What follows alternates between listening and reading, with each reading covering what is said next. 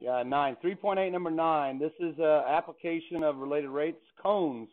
Cones seem to be a uh, pretty fun shape to use when you're talking about how fast things change. Simply because as as the height in a cone changes, so does the radius, and they change at a rate that's proportional to each other. So they do make good problems. So here's one that's ripped from not the headlines, but from the pages of my diary. Um, a cherry-flavored raspa, also called a snow cone, uh, is leaking from its paper cone at a rate of 2 cubic inches per minute. Uh, the paper cone's top radius is 2 inches, and, and it's 5 inches tall. When the depth of the melted cherry raspa mixture is 3 inches, how fast is the radius of the raspa changing? Okay, so yeah, I grew up in the Rio Grande Valley, and every day after school, uh, we would stop at the little raspa stand, and we would get a raspa for like a quarter, okay? And they were always in these. I mean, now they're like in styrofoam cups, you know, and you get these big tall spoons. It's like gourmet ice. This was not gourmet ice. I mean, it was chunky ice, man. It was like, I mean, sometimes they didn't even grind it up for you. Um, um, um, but you know, it always it always started leaking, and it always started leaking all over my clothes. So uh, the goal was to try and do it without being incredibly messy, which I always failed. So let's see what we got here. It's leaking from the cone at a rate of 2 cubic inches per minute. So 2 cubic inches per minute. Bless you. That's going to be a rate of change, and that's going to be changing the what inside the cone. Cubic inches is a measure of volume. So we can call that dV Now, if we're talking about the mixture in the cone, would that be a positive or a negative rate? It's negative because the volume in the cone is is decreasing, right, and falling onto my clothes. So it's a negative rate. Um, we got some quote unquote rigid measurements of this paper cone here. The top radius is two inches, so I'm going to go ahead and use black here. This right here is a fixed two inches, and the height is a fixed five inches. Okay, so those those are immutable somewhat, right? Not really, but for the point of this problem. Now we're saying, okay, here's our moment in time. When the depth of the cone melt is three inches. So what's variable is the actual fluid inside. So here is the snapshot moment. Um, the depth is three. So this is going to be the snapshot moment when that is three. And of course, we also have another variable, which is right here. So there are two variables in the cone problem. And I'm going to call this one R, right, the radius of the melt, and I'm going to call this one H. Or you can call it D, but I'm going to call it H. Okay? So the 5 and the 2 stay the same, but the radius of the melt and the height of the melt, H and R, those both change. So that's our snapshot moment when H is 3. I'm going to make kind of a big camera there. Okay, so we've got everything set up, we've got everything labeled, and it's time to answer the questions. How fast is the radius changing? So on part A, we're looking for dr dt. That's our target. And what I need to do is somehow relate, I don't know how I'm going to do this yet, but I need to relate dr dt to dv dt, um, and maybe by way of h somehow. So we need to relate the quantities first. So in a cone, how do you relate the volume to the radius and to the height? Well, it's the volume of a cone. So here's one you need to know. The volume of a cone is pi thirds r squared h. That's the volume of a cone, a right circular cone. All right, it's a, it's a third of the uh, cylinder from which it's carved. So let's see. Now that I've related them, I can take the derivative. Now, if you take the derivative right now, you're going to have to use the product rule, which is fine. We know how to do that. You're going to need to know R at the moment. You're going to need to know H at the moment. And you're also going to generate a drdt and a dhdt. So you will need to be able to relate R to H in every cone problem. So let's do that. How am I going to relate R to H in this problem? Anyone see it? You got this big triangle, and you got this triangle inside of it. So we can actually re relate those proportionally, right? Similar triangles is going to be the way to go. Similar triangles. And there's a couple ways to set up your uh, proportion, right? You can go uh, big to small, or you can go corresponding sides, whatever. So I'm not sure how you want to do it. I'm just going to go 2 is to 5 as what is to what? R is to H, right? You could say 2 is to R as 5 is to H. Doesn't really matter. Your cross product should be the same. So if you do that, you're going to get 2H equals 5R, and that would be your cross product however you set it up. So what that allows us to do then, it allows us to either solve for H in terms of R, H would be 5 halves R, or if you wanted, you could solve it for R. R would be 2 fifths of H, either one of them. This is kind of like the holy grail, the key that unlocks all the cone problems, because not only does it relate the h to the r, the height to the radius, it also relates their rates to each other, right? Because all you have to do is take the derivative of both sides. okay, well, that's, I guess, what we could do over here. And if you wanted to, you could do that right now. Let's let's see. We got dh dt. That would equal 5 halves dr dt. So if we need that, we got it. And of course, the other one would be dr dt equals 2 fifths dh dt. So that similar triangle relation not only relates the height to the radius, it relates their rates of change. Okay, so really what you could do is you can like fill in now some more information on that snapshot moment before we even get going. All I know at the moment is the depth of my snow cone mixture is 3. I could figure out what the radius is now at the same moment, right? Forensically, right? What do I do? I plug in a 3 for H right here and I get 3 times 2 is 6 fifths, right? 6 fifths. So that's the radius at the moment. Okay, cool. Um, what do we do? Oh, we're going back to the question. We're trying to find dr dt. Now, I have dr dt right here already found. It's 2 fifths of dh dt, but do I know what dh dt is? Was that given? No. So I do have to go through the volume because that's the only rate that was given. So you have some options here. You can either take the derivative using the product rule, and you'll plug in your r, your h, and your dr dt and your h dt, or, and this is another option you have uh, with any cone problem, you can make your volume exclusively before you take the derivative a function of r or a function of h. And how do you decide which one to use? Well, if I'm trying to find dr dt, I'd like to have a r in my equation, right? So here's option one. You can go ahead and make it a function of r by replacing h. Well, what is h in terms of r? Let's mosey over here. h is 5 halves r. So we'll come back over here. 5 halves r. And if I simplify that, I get, uh, let's see, what do I get? I get 5 pi 6 r cubed. So this is a volume formula that allows you to determine how much slush is in the bottom of the cone just by knowing the radius of the slush mixture. Okay, you could do something equivalently and get it exclusively in terms of H if you needed to. So this is going to make the derivative easier, right? Because I don't have to use the product rule, and I'm actually eliminating two variables. I'm eliminating H and dh dt. So let's go ahead and take the derivative now with respect to time. And you get dVdt equals, what do we get? 5 pi, let's see, 3 sixths is 1 half, r squared times dr dt. And so notice now to evaluate dr dt, which is what we're after, we just need to know dv dt at the moment, and we need to know the radius at the moment. I think we know both of those, right? So referencing the moment in time when h equals 3, even though there's no h in the equation, it still references the same moment. When h equals 3, we get dv dt, which is negative 2 uh, equals 5 pi halves times r at the moment. We found that, right? If we hadn't found that yet, we would need to go find it. It happens to be 6 fifths. So we can plug that in.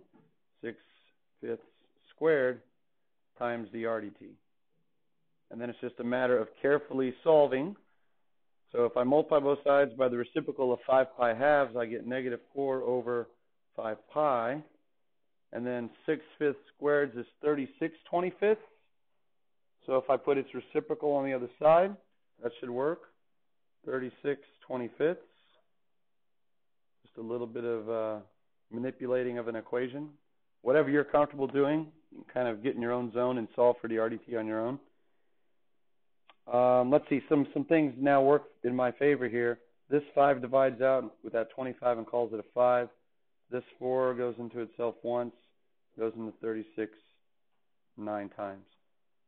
And so we can maybe come up with a simplified version. dr dt is negative 5 over 9 pi. Wow, nice. I think that's it. I think that's all that's left. Let me make this a little longer. There we go. So an interesting number, an accurate number. All this data was actually collected in real time back in the day. Um, what would be the units on that then? We're talking about inches per minute. Yeah, inches per minute. All right, so there you go. You've answered one of the questions. When the depth of the mixture is 3 inches, the radius is decreasing by 5 9 pi inches per minute. Now, there is another thing. I'll just show you right here because this could happen. You need to be able to just in your you know in your mental frame when you come into these problems be ready to solve for uh, volume in terms of either variable. So let's just go ahead and write it in terms of h as well. Okay? So if you leave h in there and you want to get rid of r, you got to be careful because you're squaring it. What is r in terms of h? Well, r is 2 fifths h. So if you come over here, you can replace that with 2 fifths h. And now when you simplify, you just got to be a little bit more cautious because you're squaring it. So 2 squared is 4 times pi would be 4 pi. And then 5 squared is 25 times 3 makes it 75. And then h squared times h is h cubed.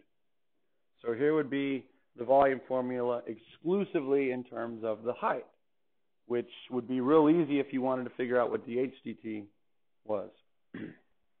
of course, you did have the option of using the product rule and then plugging everything in. All right, so there's part A. Um, now part B. It says, how fast is the snow cone melt, the raspa, leaking onto my clothes, which it always did. How fast is it leaking onto my clothes? Assume that my clothes are sitting directly under the because I didn't use napkins. This is my napkin. What is that? Yeah. So here here are my clothes. Here's my here's my here's my clothes right there. I wore blue a lot, so there's my clothes. If it's leaking out of the cone at two in, cubic inches per minute, guess how fast it's going onto my clothes? Two inches per minute. So let's call that dc dt for declosed dt. Okay. And it's still 2 cubic inches per minute, but what's the sign? Positive, because it's accumulating on my clothes. So this is a very common type of idea with these cone problems. The rate at which it's leaking out could be the rate at which it's going into something else. But the first rate is negative, and the second rate is positive. Whether it's snow cone juice onto your clothes, or, like on the test last year, it's coffee coming out of a maker into a uh, decanter. Okay. All right, so that's that's all we're doing for part B. Part C, if if I have a small cylindrical cup, and I did, with a two-inch diameter beneath the leaking snow cone, at this exact same moment, how fast is the height of the juice in that catch cup, we called it, changing? All right, so what kind of a catch cup am I talking about? You know those little pleated paper cups that like tartar sauce comes in? They have like little paper pleats across the top. They're real tiny. That's what they had. They had that sitting up there, you know. And you just the idea was was to not get it on your clothes and use both hands in the whole process. And then you would just, you know, have that cup right here and there would be the pleats, you know, and it would catch it would catch the the juice as it went down. But the problem is that thing was so small and it was also paper. And of course, once you get it wet, yeah, then this started leaking, and then that's another problem too. So yeah, then you need another one. You need a third hand. So yeah, that was life in the valley. So anyway, uh, it was hard. It had a two-inch diameter. Okay, so that's interesting. I'm giving you the diameter, and because this one is a cylinder, let's let's see what's different about that. If the diameter was two, the radius was what? Yeah, good. One. Huh. And that doesn't change. That's rigid. Okay? Now here's what's cool. As this filled filled up, unlike the cone where as it fills up, the radius gets bigger, or as it leaks, the radius gets smaller, what can you say about the radius the whole time as this fills up? It's a constant. It fills up all the way across. So radius of 1 is a constant. You don't have to label the radius of the cylinder because it's a constant. That's cool. Now what's different? The height will change. Now I don't want to call the height of the fluid in the catch cup H because I called the fluid in the snow cone H. So I'm going to call it something else like Y. Okay. All right, so let's let's backtrack now. At that same exact moment, how fast is the height changing? Well, now that I've called it y, I'm looking for dy dt. That's what I'm looking for. All right, so you can actually call dc dt the rate at which it was collecting on my clothes.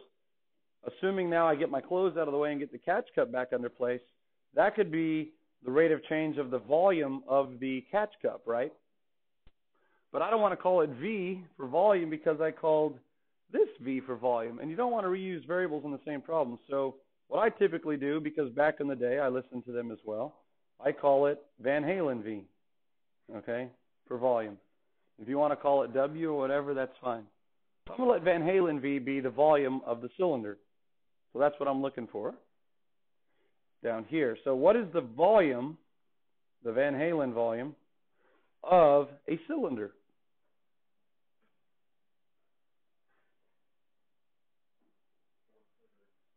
Oh, that's a sphere. In general, it's pi r squared h. Remember, the cone is pi thirds r squared h. The cylinder is just pi r squared h. But that's straight off of a formula chart in your head. You want to make it very specific now for your problem. So pi is pi. What do we know about our radius in our little catch cup cylinder? It's 1. It's a constant. And remember, if it's a constant throughout the life of the problem, you plug it in before you take the derivative. And of course, my h is not h, I'm calling it y. So here we go. My volume, my Van Halen volume, is just pi y. There you go. Pi pi e. now, I can take the derivative of both sides with respect to t, and I get pi dy dt. And I'm almost there. The same moment in time, so when h equals 3, that's the height of the snow cone mixture up above, when that's 3, the height of the catch cup is changing at, we'll find it. All I got to do is plug in. So what's d Van Halen v dt? It's positive 2, positive 2, and that equals pi dy dt. So we're almost there. We just divide through by pi, and we get 2 over pi There we go. 2 over pi. And what would the units be? Units of y, that's units of height. That would be inches per minute. Yeah. There you go. A very typical cone problem. Kind of got a system going on there. So pi thirds r squared h and pi r squared h. In a cylinder, the radius is a constant as it fills up or lowers. In the cone, the radius and the height both change proportionally to each other, and you can always find the relation between their quantities and their rates by using what? Similar triangles. Yeah. Okay, sweet onito. Okay, cherry wasn't actually my favorite uh, flavor back in the day. It was just the only one that I can find on Google Images, so I made it matched.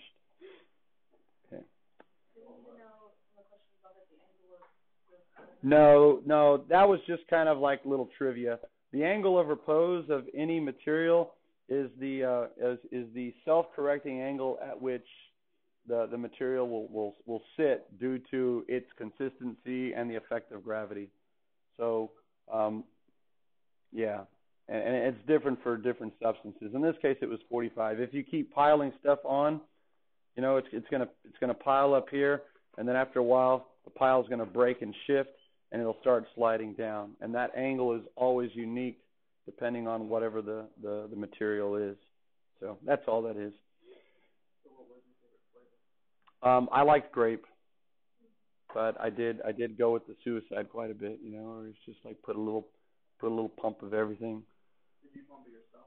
No, they pumped it inside. Yeah, I was busy sw- swatting the flies away while they did all that. There were a lot of flies down in the valley. We didn't have air conditioning when I learned, so it was windows were open and we had this old like government issued paper that was brown and I remember working math problems and beads of sweat would just fall right there on my math paper. I was just, man, I wish I had a raspa. Wish I had a raspa. Okay, anyway. Good old days, good old days. All right, so um la la la la la la la la la. Um you know what I'm gonna do? I'm gonna I'm going to let the, the, the, the cone problem sink in. Okay? And we're gonna skip example ten, perhaps come back to it. We're gonna jump to example eleven. And if there's time, we'll come back to example ten and see if you remember the cone stuff. Huh? All right, so example 10 is the last one on here. Uh, a young boy is out at night. Also from my diary, yeah. Running towards a street lamp at six feet per second. If the street lamp is 30 feet tall, and it was, and the boy is five feet tall in his running stance, okay, when he's four feet from the base of the lamppost, two questions. How fast is his shadow length changing? And how fast is the tip of his shadow moving? Um, yeah, yeah, yeah. Okay, so is that the same question? Shadow length changing and tip of the shadow moving? That's two different questions. it should be two different answers. Let's try to make sense of what's going on here. Here's a flat street. You got a lamppost. Here's the lamppost, and there was a light at the top, and it was uh, let's see, I think it was mercury vapor, not sodium vapor, and uh, it was it was uh, how tall was it? 30 feet. So we'll assume that that didn't move. It was it was 30 feet tall. Okay, 30 feet. So I'm not going to call that L for lamppost. It's a constant. Now, the way that this works, you know, is it, it shines a light, um, and then there's a person five feet tall, right about here, we'll say, um, and they'll assume that's a constant, right? That doesn't change, and um, the light is shining down in front, but of course he's blocking some of it with his height, like that. Okay, and so uh, the light shining back here. There you go. You could do this with notability pretty nicely. There you go. And so he's blocking the light with his body. And so there you go. 5 is a constant, 30 is a constant. Now, let's go ahead and label. He's running towards the lamppost, so he's running this way. So there's a couple of things here that are changing. First of all, let's label the shadow, right? The shadow is going to be projected on the ground, and I'm going to call that S for shadow, script letter S so it doesn't look like 5. The distance then from the base of the lamppost is also changing. What do you want to call that? I'll call it X. Remember, we're getting in the habit again of labeling small pieces. So uh, instead of labeling the whole thing from the base of the lamppost to the tip of the shadow something and then using subtraction, we'll just call the small pieces X and S. Okay, so what else do we know? I think that's that's it for labeling. Now we can label something in here. It says he's running towards the lamp at six feet per second. So I know that six feet per second is some kind of rate, and it's d something dt, and it's the rate of change of some linear quantity. So based upon my labeling down there, is it anything that I've labeled? d what dt? It's dx dt. Good, because we're referencing the base of the lamppost. And would it be positive or negative? negative? It's negative. Good. Because x is getting smaller. It's decreasing. All right. So we know that. And then it says, part A, how fast is his shadow length changing? What did I label the shadow length here? S. So on part A, we're looking for ds dt. All right, so here's the fun part, coming up with that equation. I need to ultimately relate the rates to each other, but I first must relate the quantities to each other. So in this little picture, how do I relate s to x?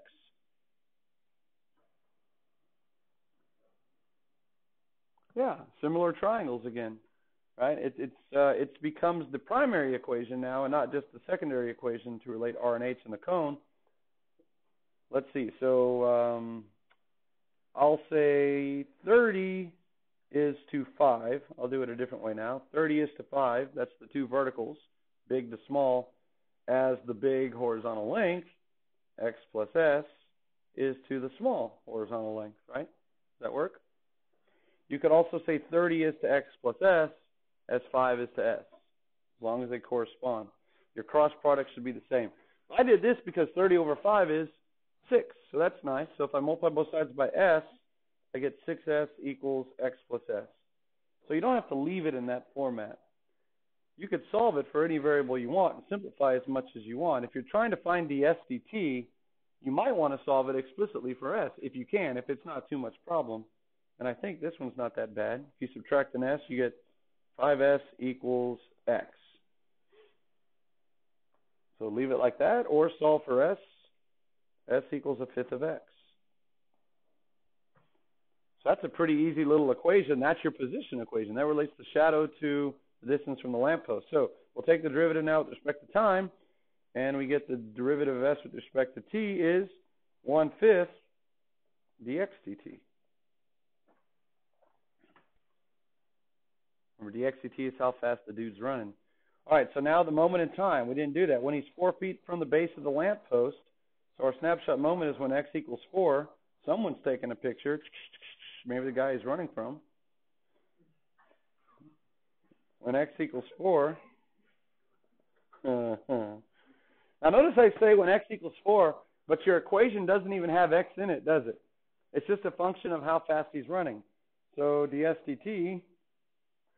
uh, is equal to one fifth of dx dt, and dx dt was negative 6.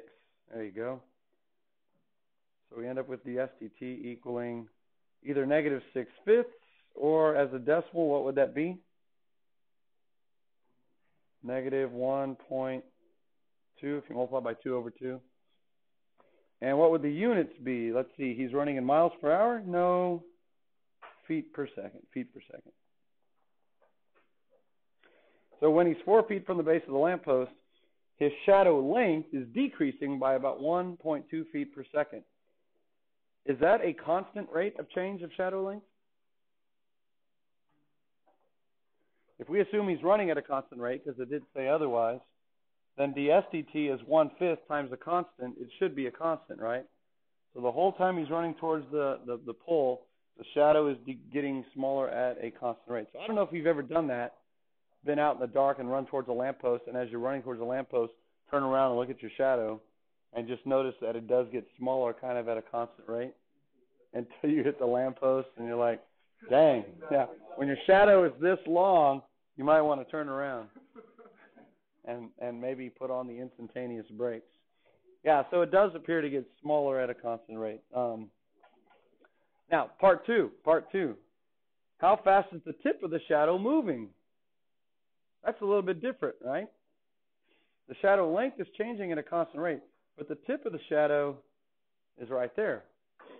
And if you want to figure out how fast it's moving, just like when you're talking about how fast the dude is moving, it's all in reference to the base of the lamppost.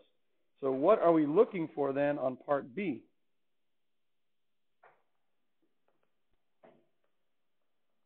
We're looking for the rate of change of some quantity with respect to t.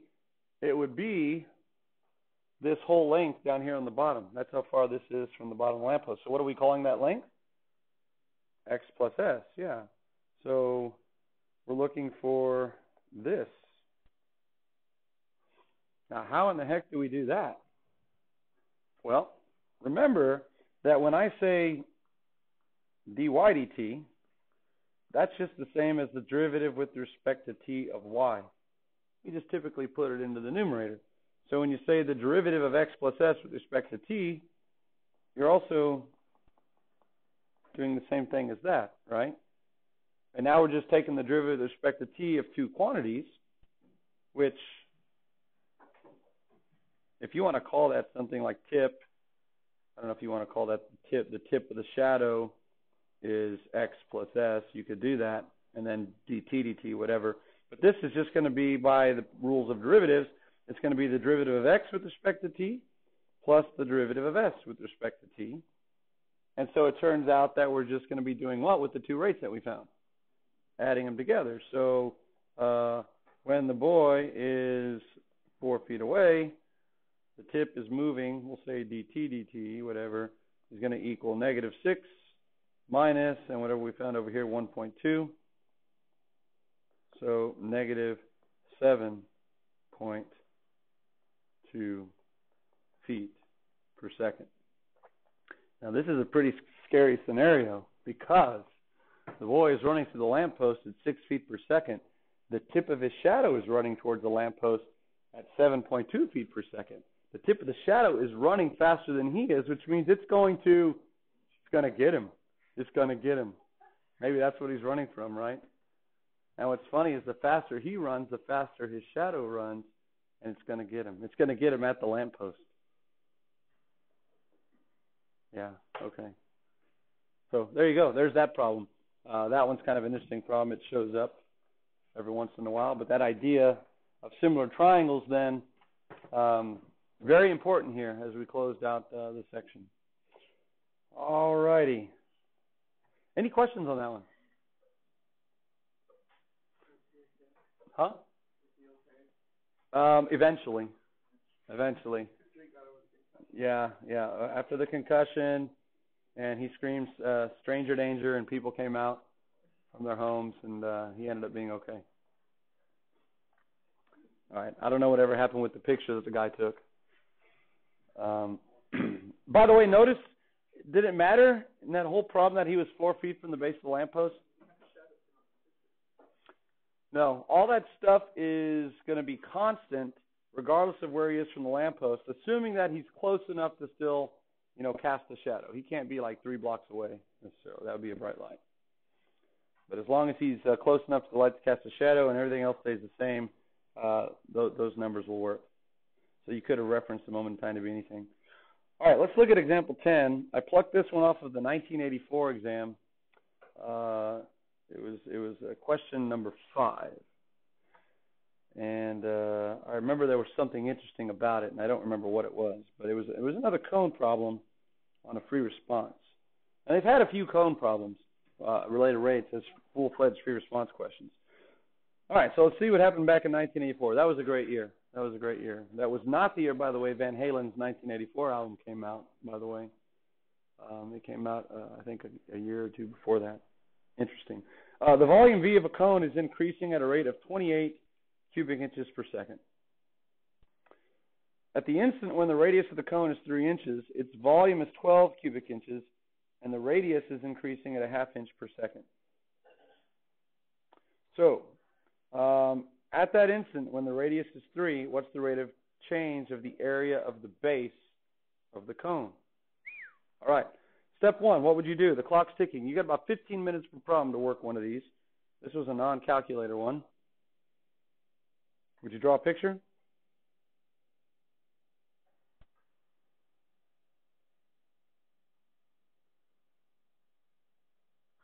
No, I don't know. Would you? Okay, it got real quiet.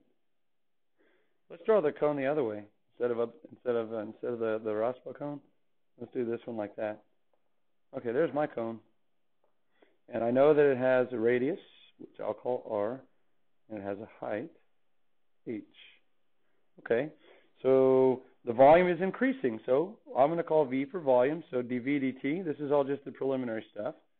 It equals positive or negative 28. Positive because it's increasing. Okay uh, cubic inches per second. I'm going to go ahead and put my units there just to try and remind myself that I need to put units on all my final answers. And I am talking about inches in second, not like feet and hours.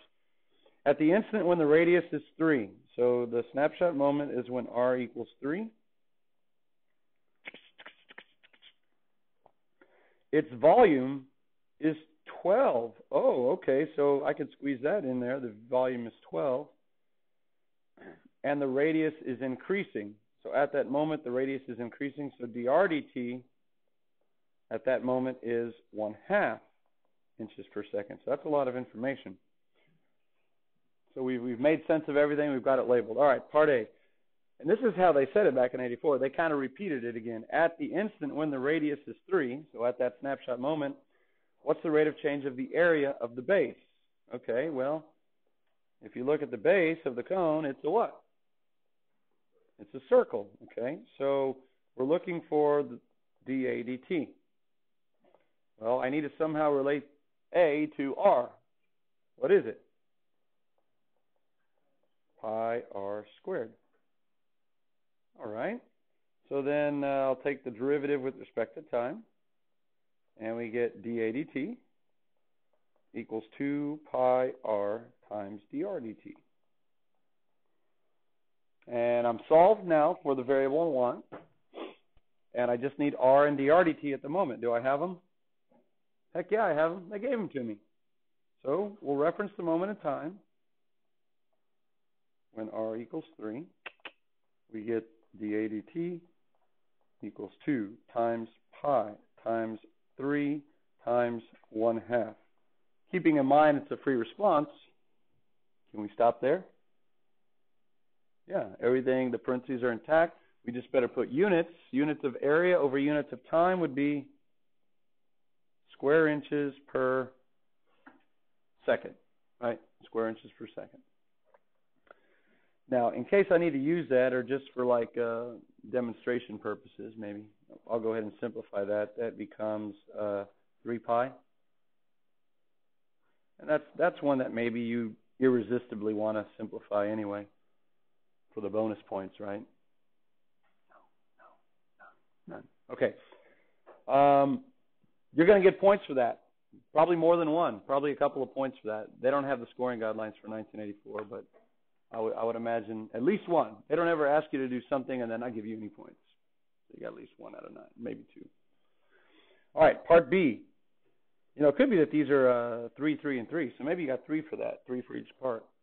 At the instant when the radius of the cone is three inches, referencing the same snapshot moment, what's the rate of change of the height? Okay, so on part B, we're looking for dH dt.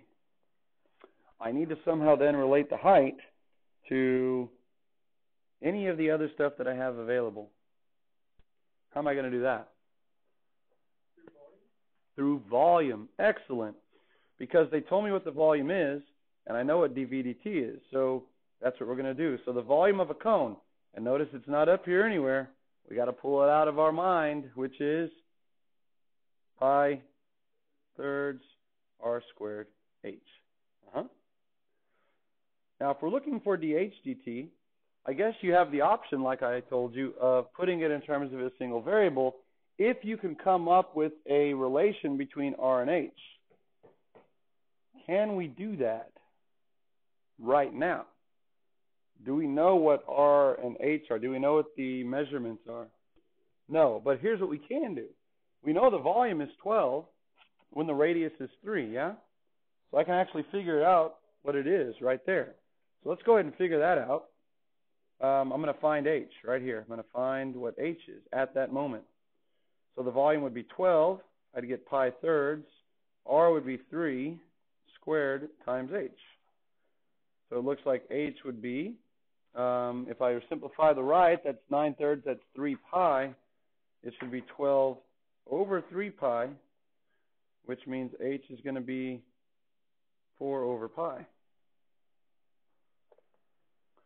So maybe I'll remodel my camera here and I'll stick that in there.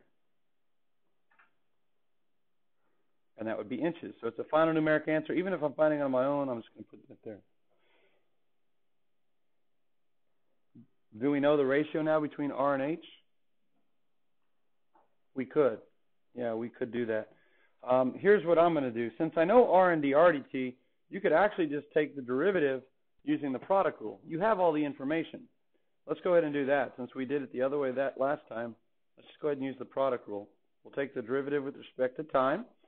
and we get dv dt equals, by the product rule, we get 2 pi thirds r to the first times the chain rule drdt, times h goes along for the ride. Plus, I'm going to go ahead and just pull pi thirds r squared along with it, instead of factoring out the pi thirds, times the derivative of h, which is 1, times the chain rule dhdt. Now, when you use the product rule, of course, you're going to have a lot more variables, but if you know them all, that's good. So notice if we're looking for dh dt, that would be the one unknown that we're allowed not to know. So real quickly, you can go through and take inventory. Do you know all the others at the moment? Well, yeah, I know DVDT, they gave it. Um, I know the radius at the moment, yeah.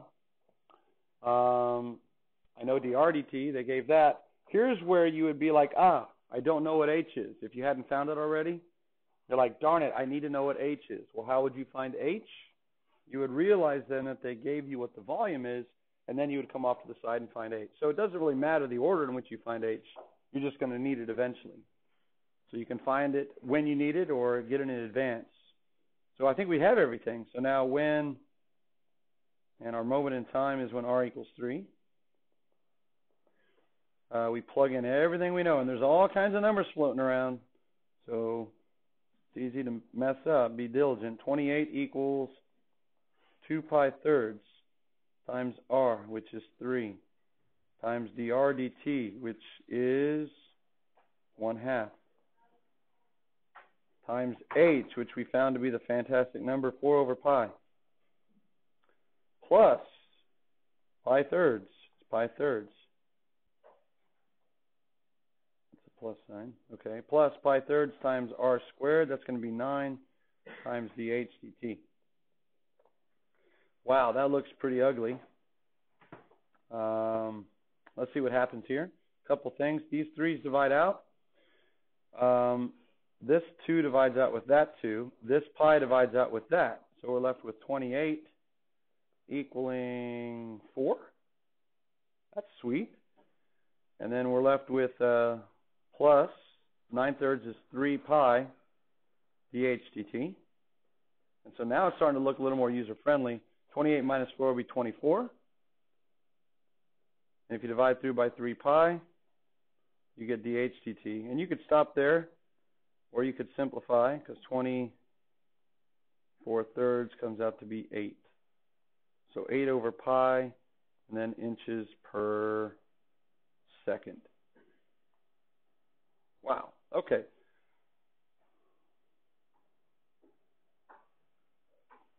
And we had 15 minutes to do that. We're still not done.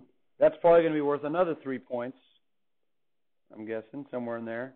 And now we're on to part C.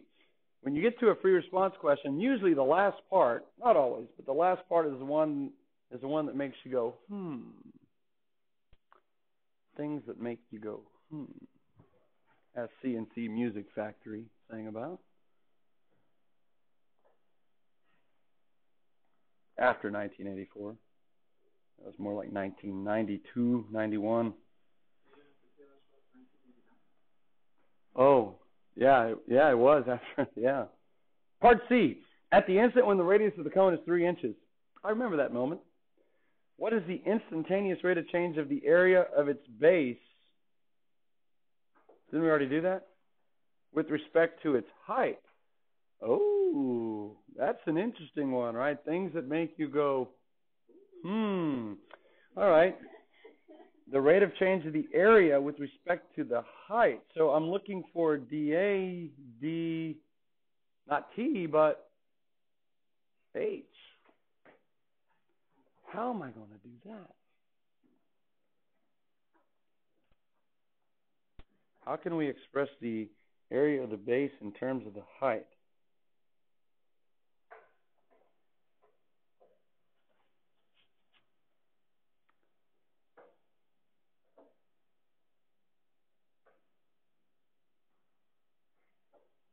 Any ideas?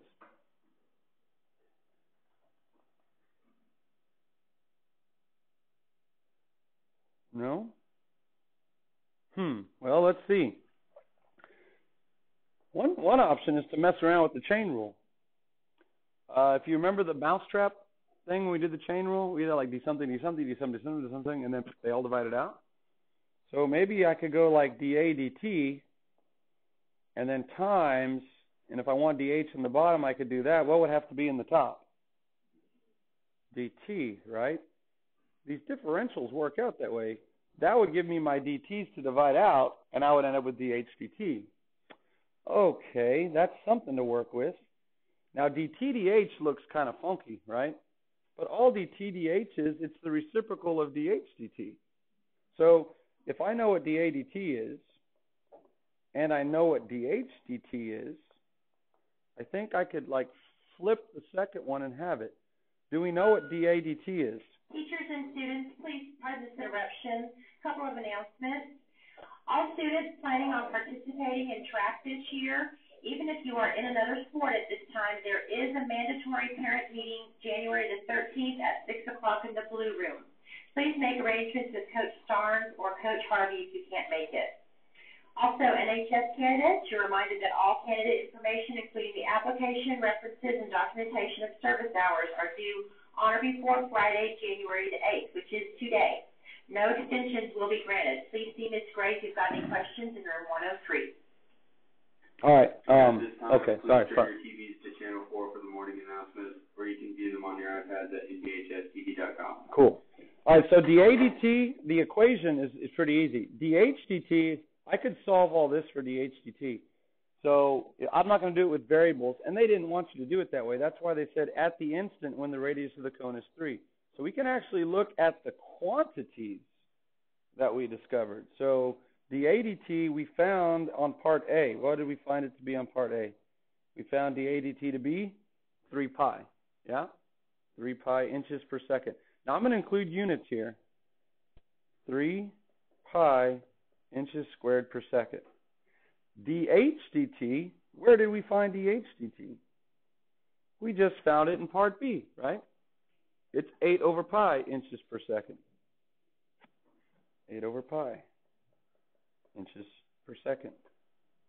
So if I come over here, we'll say then at the moment of time when r is 3, that's what they're referencing, dA dH is going to equal dA dt, which I just found to be 3 pi inches squared. I'm going to go ahead and say per second. I'm doing a little bit of stoichiometry here as well. And how do I get dt dH if I know dH dt? Flip it, right? So this becomes pi over 8, and instead of inches per second, it's seconds per inch. This is one of the advantages of using Leibniz notation with the differentials. And I don't think you'd have to simplify that, but let's go for it. Uh, what do I end up with? I end up with 3 pi squared eighths. And what happens with the units? I get inches squared per inch. And I think we looked at this earlier in the year. Do you want to divide those out and call it inches? If you do, you kind of lose uh, a little bit of what the question is asking. So you would say, at the moment when the radius is 3, the area is increasing by 3 pi square inches, a 3 eighths pi squared inches squared per 1 inch change in the height. So for every time the height increases by an inch, the area is going to increase by 3 pi squared eighths square inches. So notice what they did. They asked you to do something in part A, they asked you to do something in part B, and in part C, you got to use what you did in part A and B in kind of a novel way. And that's a very typical thing where they, they have you do stuff like that. So um, we don't really look at the chain rule all that often with Leibniz notation. We tend to do it with function notation, but Leibniz notation does have its advantages because you could treat them as rates, and of course you could flip rates uh, as needed. And we'll be doing a lot of that kind of stuff too later on when we get to um, polar coordinates. All right, that's it. That would be probably another. That last one might be worth just two points. Usually, the one that makes you go, hmm, they don't load that one up with a lot of points. It's usually worth like one or two points. So those are kind of the fun ones. If you kind of shape your your mind to think that the last ones are the fun ones, those are the ones that really require some novel thinking, perhaps the challenging ones. the fun ones, uh, you'll be doing yourself a favor instead of just saying, "Oh, it's the hard ones. I'm not going to do it." Right. Okay, we're done with the related rates. Any questions? What comes after related rates? Integrals. Yeah, we're we're about ready to start integration, which means we're going to about we're going to be going backwards. We're going to be doing undoing everything we just did. Okay? Yeah, nice. Okay. Oh, rates related. So have a have a splendid, fabulous weekend.